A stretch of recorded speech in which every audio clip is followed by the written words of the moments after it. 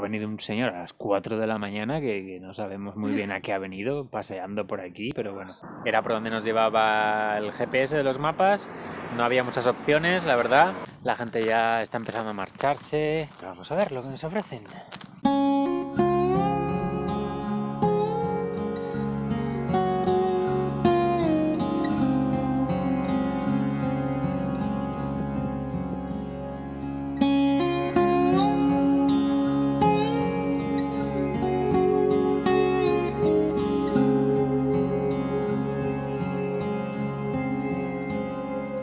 Días, aquí es donde hemos dormido, en esta caseta. Hay un montón por todo Japón, casetas de estas, y en los parques casi siempre hay uno o dos, pues las estamos utilizando ahora que hace un poquito de frío y parece que no, pero el techo algo abriga.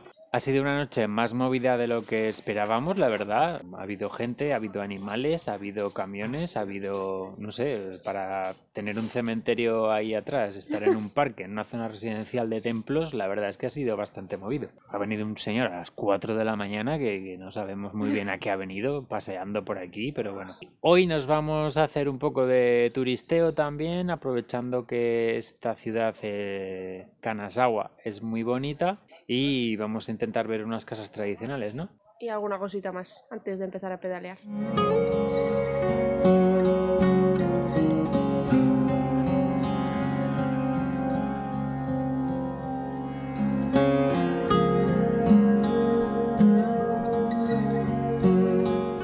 Kanazawa es la capital de la prefectura de Ishikawa y es una ciudad visitada tanto por turistas japoneses como por extranjeros, debido a sus calles con ambiente tradicional.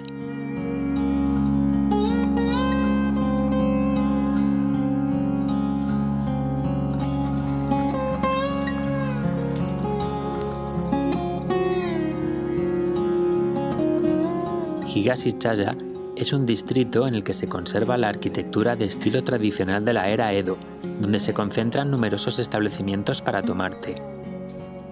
Su ambiente recuerda a la icónica calle de Kioto, y es que con suerte aún se pueden ver geisas por la zona. También visitamos el mercado, donde pudimos ver los productos locales.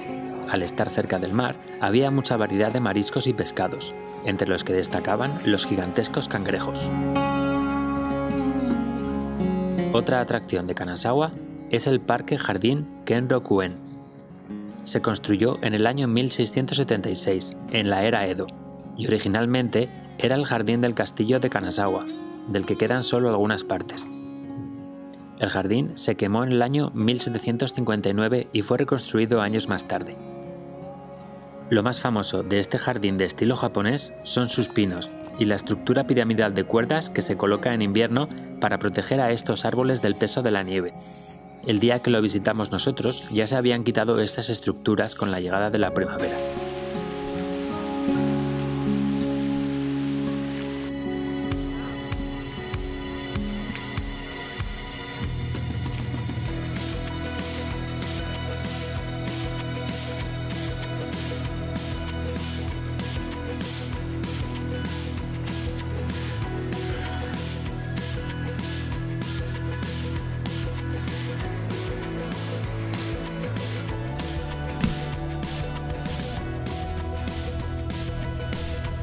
Además, en el centro de la ciudad hay varias calles con antiguas casas de samuráis por las que merece la pena dar un paseo y viajar en el tiempo.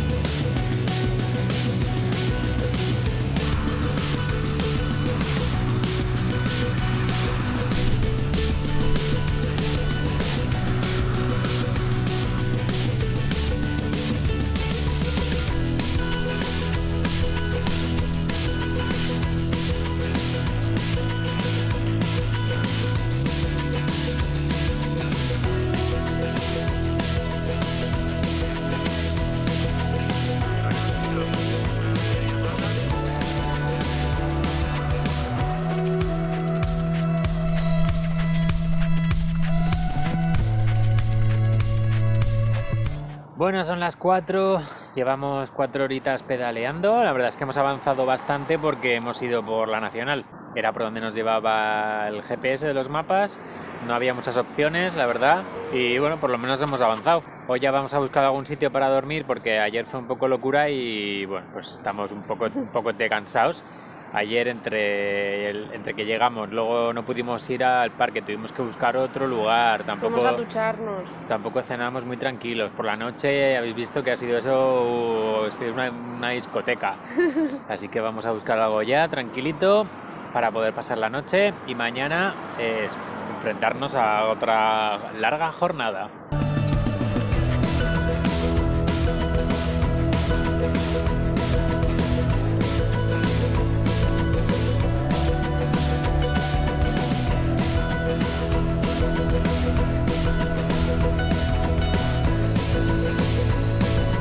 Hemos ido a un Michinoeki, pero la verdad es que no molaba nada. Estaba al lado de, una carretera nacional, pasaban muchos coches y era un poco cutre. Y ahora hemos llegado a un parque que eh, tiene aquí como una especie de techo. Vamos a ver lo que es. Y parece un buen sitio, tranquilo, la gente ya está empezando a marcharse. Y vamos a ver lo que nos ofrecen.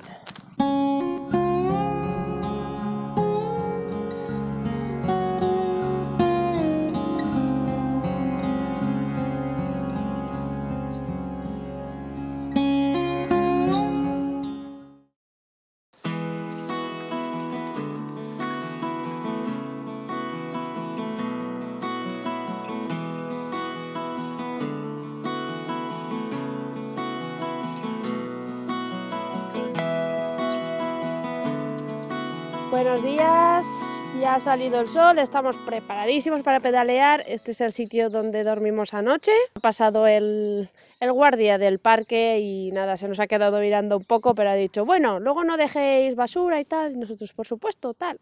Así que no ha habido ningún problema. Hoy hace muy buen día, como podéis ver, pero mañana se supone que va a llover todo el día. Lo bueno es que esta noche ya tenemos casa para quedarnos, eh, una familia de warm showers, que además ahí están acogiendo a otra gente, no sé, pareja, una persona, no me acuerdo, pero franceses. Así que nos vamos a juntar ahí unos cuantos para, para charlar sobre bicicleta y el cicloturismo. Malas noticias. Bueno, está el tema del coronavirus poniéndose un poco delicado también en Japón. Están aumentando los casos en las ciudades grandes sobre todo. Entonces, bueno, están pidiendo que en esas ciudades, en el resto del país no, pero en las ciudades grandes, pues están pidiendo que pues que no salgan a la calle, a no ser que sea imprescindible y tal. Así que parece que nos va a tocar cambiar un poco de planes, de ruta y tal. Pero bueno, no adelantemos acontecimientos demasiado, ya iremos viendo.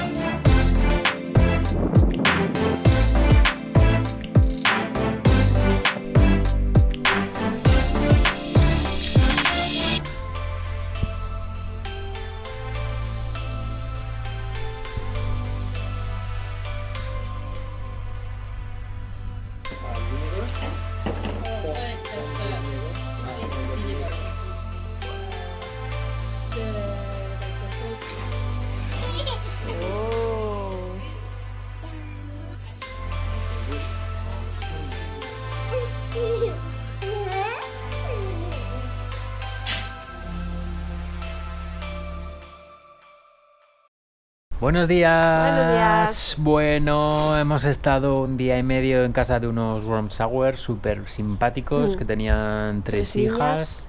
También había un chico francés que estaba dando la vuelta al mundo.